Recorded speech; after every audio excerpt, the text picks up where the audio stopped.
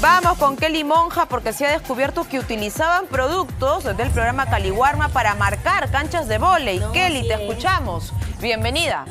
¿Qué tal, Cintia? Buenas tardes. Y es que hojuelas de avena, presuntamente del programa de alimentación escolar Caliwarma, han sido encontradas para utilizarla como una delimitación de una cancha improvisada de volei en un asentamiento humano, Cintia.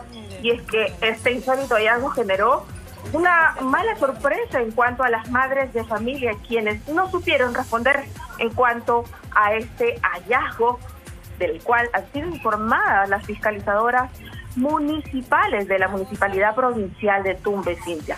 Ante la sospecha de que se tratara de productos del programa del vaso de leche, las regidoras Cintia Romero, Karina Becerra y Rosa Llovera se han desplazado hasta el lugar para verificar los hechos y ellas han constatado que esas hojuelas de avena eran efectivamente distribuidas por el programa de Caliwarma.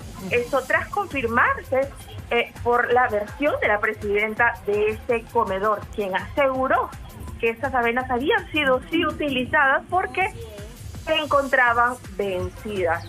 Ahora se estará aperturando una investigación para determinar si además de ello también se estarían involucrando alimentos de la municipalidad. Imagínate, Kelly. Dado que las escuelas no concuerdan con las mostradas por parte de eh, este comedor. Efectivamente, Kelly, se tiene que realizar entonces a la Contraloría y Fiscalía, Cintia. La investigación respectiva, cómo llegaron también esos productos a sus manos. Kelly, te dejamos. Gracias por los detalles porque tenemos que irnos en vivo y en directo.